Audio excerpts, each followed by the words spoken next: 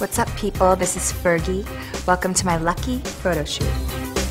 This is such a great shoot. I loved the big dress, Louis Vuitton.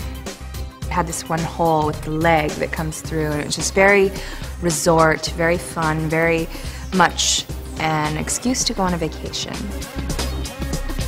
I also liked the shorts with all the detailing on them. They were perfect for a performance. I just couldn't stop dancing in them.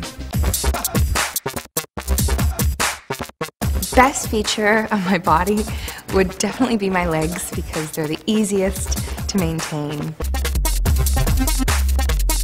Who do I think has great personal style? I've always thought Lenny Kravitz. He's rock and roll, he's got that soul. He's the one who inspired me to change all my, my ear piercings, all 14 of them, uh, to Loree Rodkin because, you know, his were, you know, a notch above, and I wanted that as well because it was so detailed.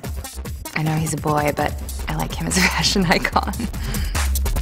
Summer must-have list.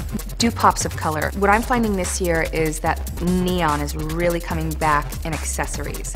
I always like a big straw hat. Find yourself a good one that you can rock with everything because you, you know it's it's such a great thing to wear out in the sun because it guards you from the, the sun rays. Have your tinted moisturizer, very important. I like to have a little glow, so the tinted moisturizer is really a savior for me. What do I always pack to take on tour? Everything, of course. I'm lucky.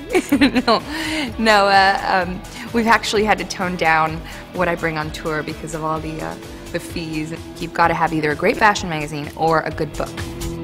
Josh, he either likes me in a lot of black with a black smoky eye, really sultry, or at home with no makeup and a bun on my head. He calls me Peanut Head because I, I wrap my hair up and I soak it in conditioner. It's hot. this is Fergie. Thanks for hanging out with me and my lucky color shoot.